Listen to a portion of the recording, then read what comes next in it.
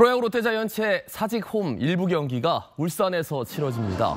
KBO는 다음 달 30일부터 오는 7월 2일까지 롯데와 두산의 3연전과 오는 9월 5일부터 7일까지 롯데와 삼성의 3연전 경기를 사직이 아닌 울산 문수구장에서 진행한다고 밝혔습니다. KBO는 이번 경기 장소 변경이 연고도시 외의 지역의 야구 팬들에 대한 서비스와 프로야구 저변을 넓히기 위한 것이라고 설명했습니다.